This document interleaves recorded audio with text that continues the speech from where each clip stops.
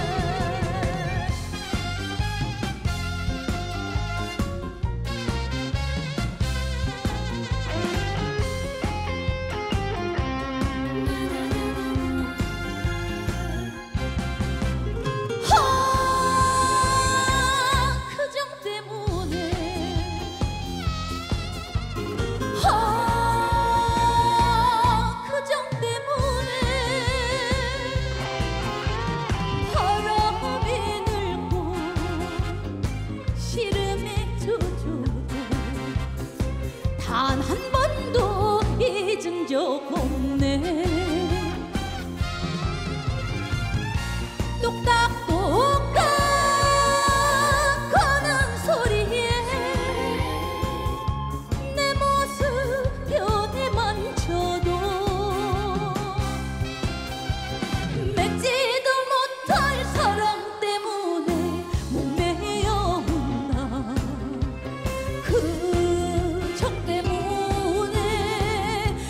정 때문에 이러지도 저러지도 못하네.